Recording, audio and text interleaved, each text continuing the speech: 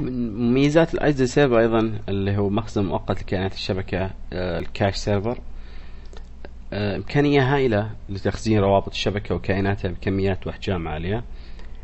آه، نعرف إنه في ال ISA Server تحت يوجد قسم خاص بال cache هنا في هذا القسم بإمكانك تحدد عن طريق ال define cache drive راح تظهر لك الاقراص الصلبة أو الأقسام داخل الاقراص الصلبة.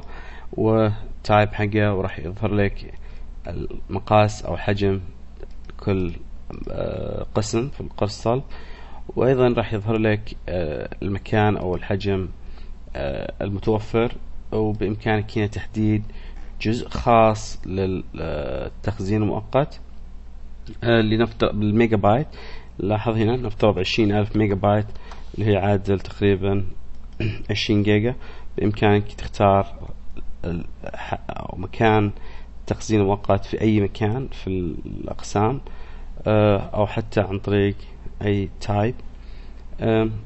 وهذا راح يساعد طبعا يساعدنا في تحديد أقسام ال cache آه، في أو أقسام التخزين أو أو كيفية تقسيم ال hard disk بالبداية لأن ال cache أكبر رقم آه، ممكن يكون يوصل له اللي هو 64 ألف اللي هو 64 ميجا بايت فأنا أفضل دائما عند تقسيم ال hard disk وال hard drive إنه ما يتعدى حجم كل قسم عن 64 آه، جيجا بايت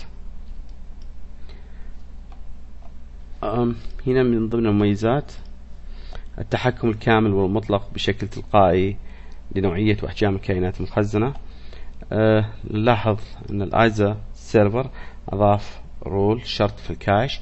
واللي هو أه ال cache يكون أه أو مصدر يعتمد على مصدر الطلبات من كل الشبكات. أه لاحظ هنا أن هذه خيارات غير مفعلة لك التعديل اللي هي بإمكانك تفعلها عند إضافة شرط واللي هو اختيار only if a valid versions of the object exist on the cache. يعني في حالة وجود uh, الكائنات المطلوبة في الكاش راح يقوم بتوفيرهم الكاش. uh, عندك عدة شروط مختلفة. من ضمنها if any version of the object exists in the cache حالة وجود آه، إصدار آه، أي إصدار بالكائن موجود بال cache راح راح يتم جلبه عن طريق ال cache. آه، وهذه الخيار اللي هو إذا كانت فقط في حالة وجود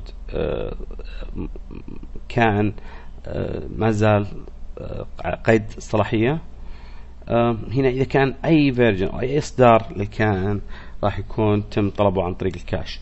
فهنا تقدر تحدد أنت من وين راح يكون تم توفير كائنات.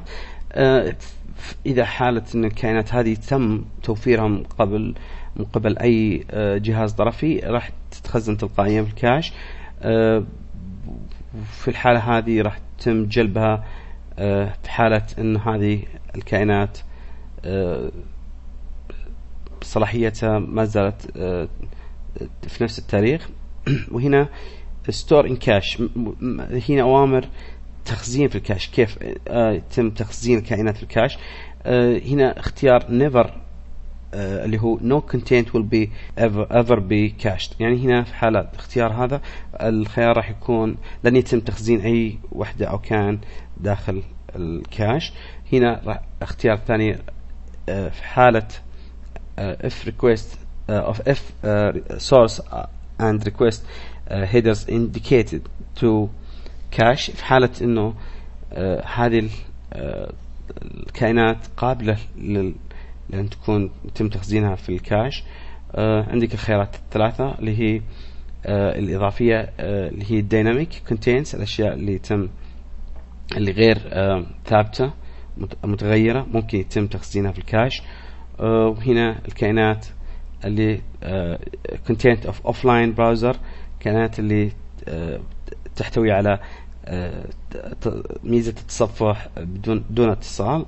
وهنا content required user authentication for retrieval.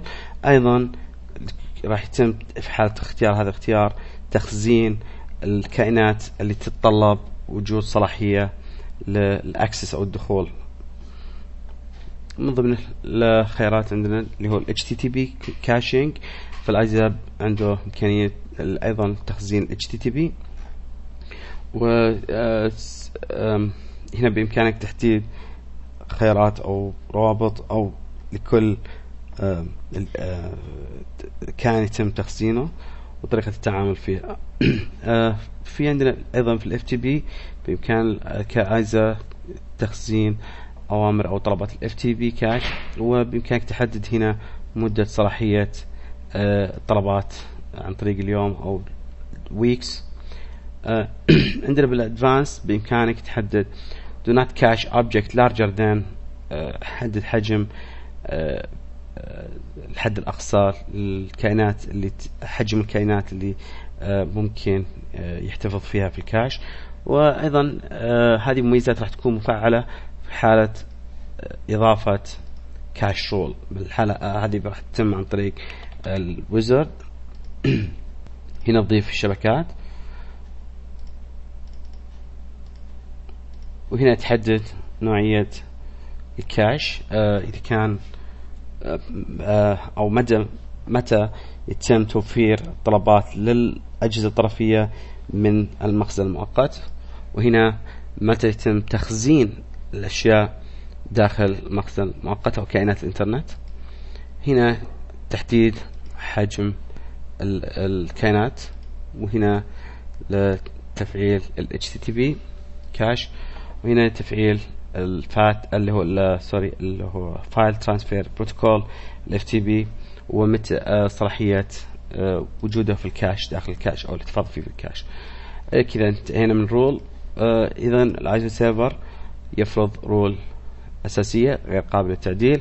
بإمكانك تضيف rule إضافية والتعديل كما ترغب. وطبعا هذه ميزة موجودة في ال ISA Server بحيث إنه ال ISA Server لا يطلب منك المعرفة الدقيقة في الأشياء أو في الغوص في الشبكات أو الخيارات فهو مرب آه، مجهز آه، خيار أو شرط آه، متوافق جدا مع جميع الشبكات أو معظم الشبكات.